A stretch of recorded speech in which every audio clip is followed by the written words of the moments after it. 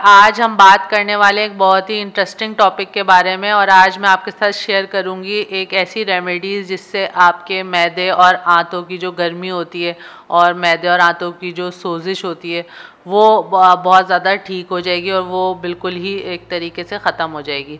तो ये एक बहुत ही ज़बरदस्त रेमेडी है, बहुत ही सस्ती रेमेडी है और बहुत ही ईज़िली बन जाती है और इसका कोई साइड इफ़ेक्ट नहीं होता। तो और ये पेट के तकरीबन ज़्यादातर बीमारियों के लिए बहुत ज़्यादा फ़ायदेमंद होती है। तो आप इसको ज़रूर इस्तेमाल करिएगा और इसमें जो नॉर्मली ये जिन कंडीशंस में इस्तेमाल होती है, उसमें ये जो खाने की नाली की सोजिश होती है, उसके लिए बहुत ज़्यादा फ़ायदेमंद है।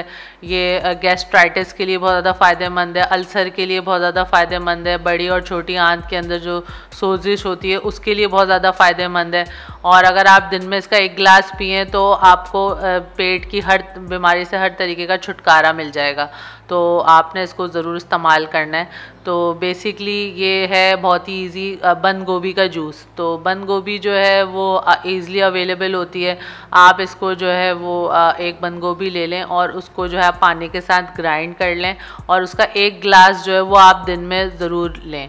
और लेकिन अगर किसी को बहुत ज़्यादा इन्फ्लेमेशन और बहुत ज़्यादा उनकी आंतों में और मैदे में गर्मी और बहुत ज़्यादा सोजिश है तो वो इसके चार ग्लास भी जो है वो पी सकते हैं दिन के अंदर। डिपेंड करता है कंडीशन के ऊपर।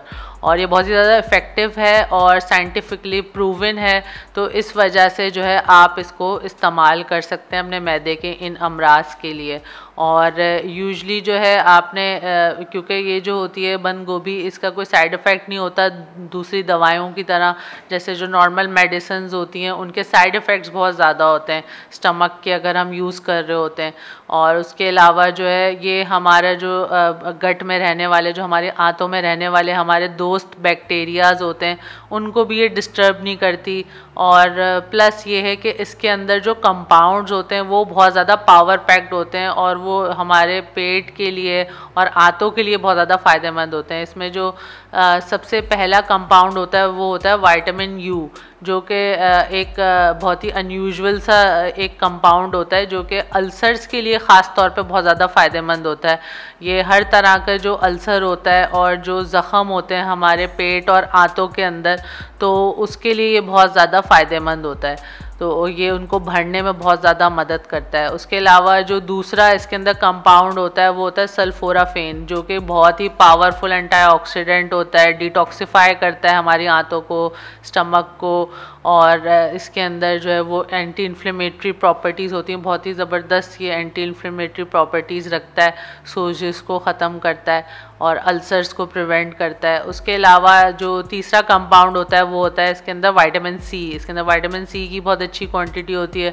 तो वाइटामिन सी के बारे में सबको पता है कि वो भी एक बहुत ज़बरदस्त एंटीऑक्सीडेंट होता है। उसके अलावा ये हमारे गट की इम्यूनिटी को बढ़ाता है वाइटामिन सी तो इस वजह से भी काफ़ी फ़ायदेमंद होता है।